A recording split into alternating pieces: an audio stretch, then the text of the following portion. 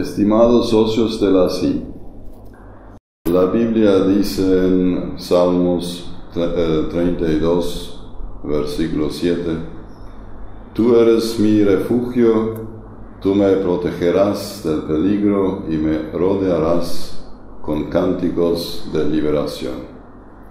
Y en 1 Reyes 17, 14, pues el Dios de Israel dijo que no se terminará la harina que está en la jarra, ni el aceite que tienes en la botella, hasta que Él haga llover otra vez. Dos versículos muy conocidos que describen perfectamente los primeros seis meses vividos en la CIM y en las comunidades indígenas con quienes cooperamos. Todo el mundo habla de una pandemia, una enfermedad muy contagiosa que arrasa al mundo. En el Chaco no lo sentimos todavía. Nos sentimos como refugiados en el regazo de Dios. Por otro lado, vivimos una de las sequías más importantes en la historia del Chaco paraguayo y en las comunidades no hay quien realmente sufra hambre, aunque sí, la sequía afecta ya a la producción ganadera y se tiene que buscar soluciones de agua y pasto. En marzo pronosticábamos tiempos difíciles en las cajas de la AMH, pensando que las personas perderían su empleo y también por la caída de los precios de los desmamantes.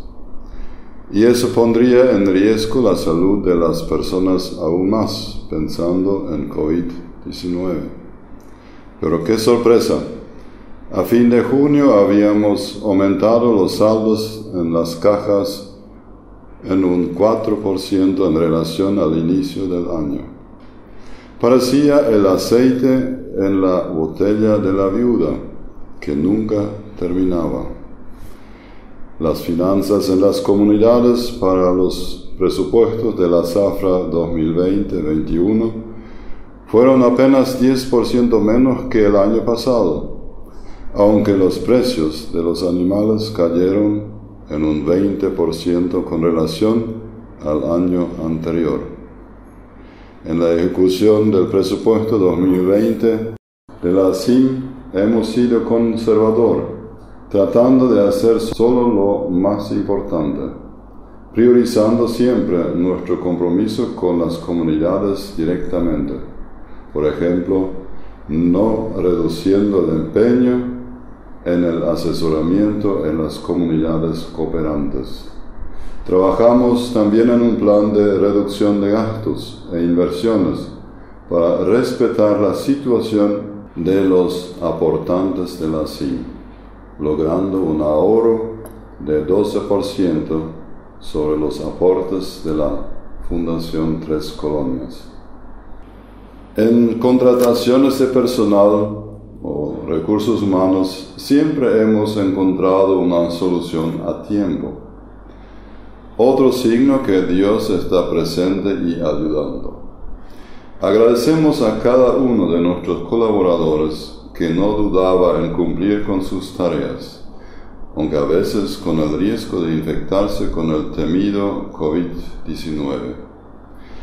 Y no como último quiero agradecer a los administradores y líderes de, de iglesias en las comunidades que siempre apoyaron las acciones conjuntas de la CIM Realmente estamos muy felices por tanta confianza.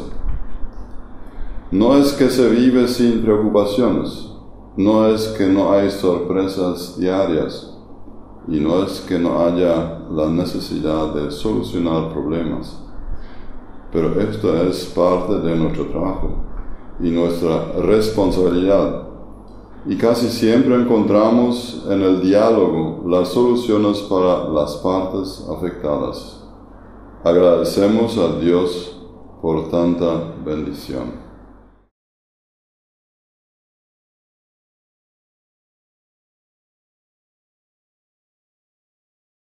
El Departamento Salud de la ASIM inició el año con capacitaciones para el personal, consultas médicas, programas de prevención, etc. Se llevaron a cabo varias charlas educativas tanto en las comunidades como también en escuelas y colegios. Se implementaron varias medidas sanitarias en respecto a la protección para con el coronavirus. El sanatorio Yalvesanga siguió con su rutina normal, con la diferencia de que los pacientes son clasificados ahora en los que presentan un cuadro respiratorio y aquellos que padecen de otros síntomas. Estos son atendidos en consultorios diferentes.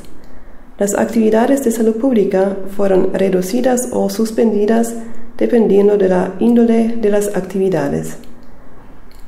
Las consultas médicas mensuales en las comunidades continuaron normales tratando de evitar la aglomeración de personas y cumpliendo con las medidas sanitarias.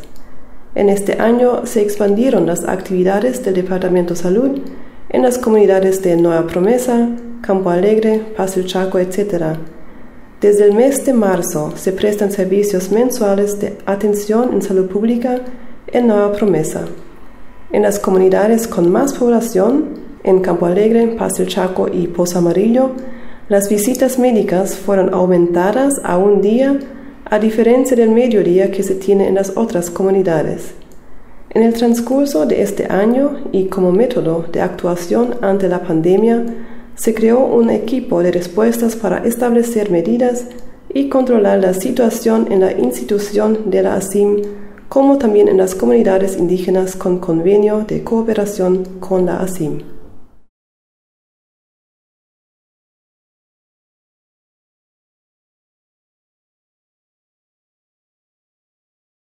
El primer semestre del año 2020 presentó condiciones inesperadas y desafiantes.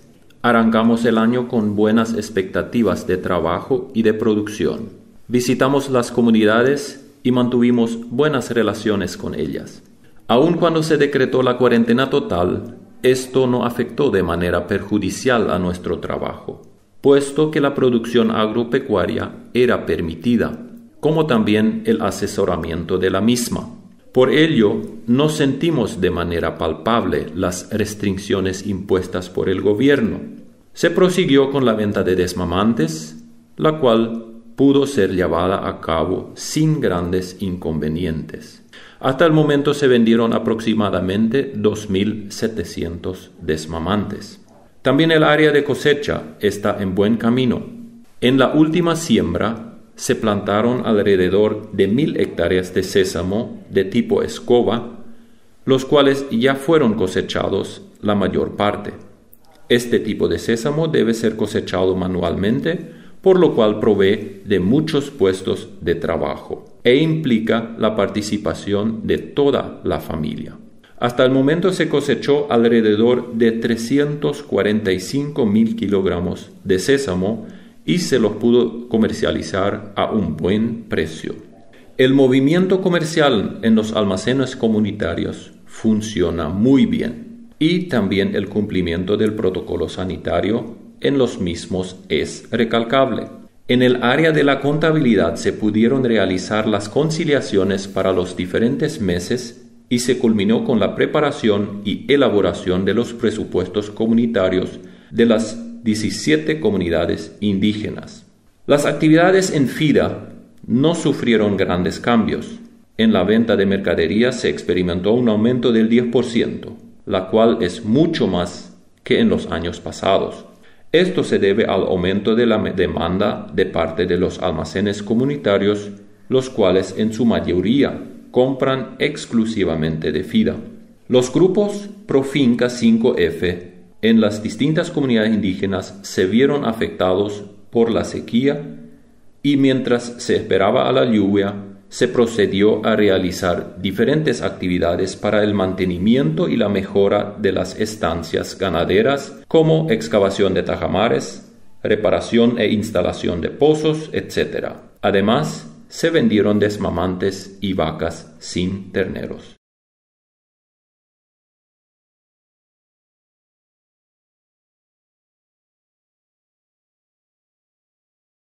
El inicio del año lectivo fue muy prometedor. Se realizó la jornada de docentes en febrero y se procedió a los preparativos para las clases. El Colegio Indígena Yalvesanga inició el año con 151 estudiantes y aproximadamente la mitad de estos permaneció en las residencias estudiantiles. Habiendo arrancado bien las clases, se declaró la cuarentena total y los alumnos regresaron a sus casas dejando a los patios de las escuelas y de los colegios en estado de deserción. En la zona 7 ASIM se buscó diferentes estrategias para salvaguardar la suspensión de clases presenciales y seguir las clases a distancia. Aunque el MEC proveyó una plataforma de estudio virtual, no se pudo emplear la misma en nuestro sistema educativo, porque la mayoría de los alumnos no goza de un acceso a Internet. Por esa razón se tuvo que buscar formas alternativas a la propuesta virtual por el MEC.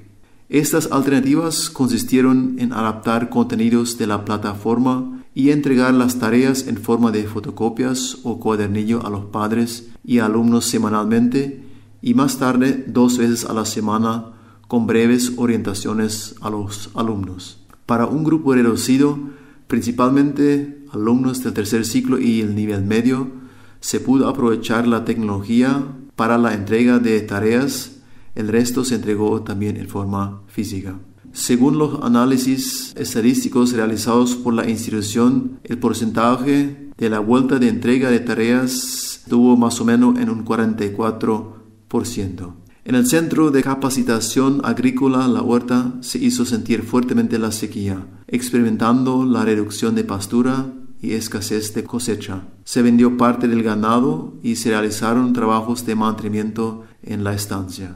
En este tiempo los docentes se encargaron de preparar los materiales de estudio donde tienen las herramientas digitales. Además, la preparación y distribución de los kits de alimento está a cargo de los docentes ya que no es posible que los alumnos consuman su merienda y almuerzo en la escuela. En el marco del Consejo Departamental de Educación se realizaron varias reuniones analizando las realidades del Chaco Central y buscando mediante una mesa técnica posibles soluciones. El Consejo consensuó una propuesta de una vuelta inteligente a clases para el segundo semestre en Boquerón, la cual debe ser estudiada y avalada por los ministerios correspondientes.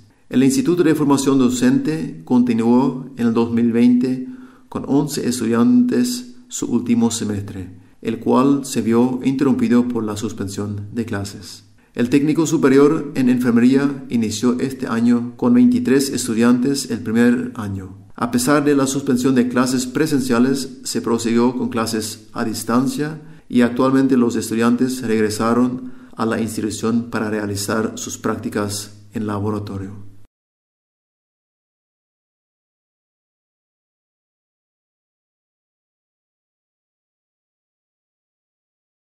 En enero del año 2020, por parte del Departamento Intercultural, Social y Espiritual de la ASIM, se organizó y desarrolló el cursillo de capacitación para las maestras de la educación inicial en Yalvesanga. Desde el 13 hasta el 18 de enero, todas las maestras de los pueblos Nivacle, Entlet, Sanapana y Angaite recibieron el cursillo por primera vez en un grupo unido y funcionaba muy bien. Las 60 maestras de la ASIM enseñan en 50 escuelitas a cerca de mil alumnos. En esta capacitación, las maestras reciben entrenamiento del material didáctico y recitados, cantos y juegos para sus enseñanzas. Cuando se cerró todas las escuelas el 11 de marzo de 2020, las escuelitas quedaron sin actividades por un mes. Luego se comenzó con la repartición de hojas de trabajo y mediante audios y fotos por teléfono se dio instrucciones para realizar las tareas con los alumnos. Así se trabajó hasta el día de hoy. En el trabajo social femenil se sigue con dos grupos de costura, uno en Yalasanga y otro en Campo Alegre. La profesora Gudrun Walkentin dio dos cursos en educación financiera en Tiberia y Casuarina con traducción al idioma Nivaclé y por el momento da dos cursos en Amarillo y Seboy Amyep de Yalvesanga con traducción al idioma Entlet. Siegfried Dirksen y Alfara visitaron la organización Diaconía Paraguay en la ciudad de Luque para observar el funcionamiento de grupos de microfinanzas. En el segundo día de la visita asistieron a una conferencia de video con el presidente de la organización Hope Internacional, Will Candle, de Pennsylvania, Estados Unidos. La Federación Regional Indígena Chaco Central, FRIC, se reunió el 23 de enero 2020. Administradores, pastores principales y lideresas de las comunidades asociadas de la FRIC se informaron, discutieron e intercambiaron ideas que les afectan en su trabajo comunitario.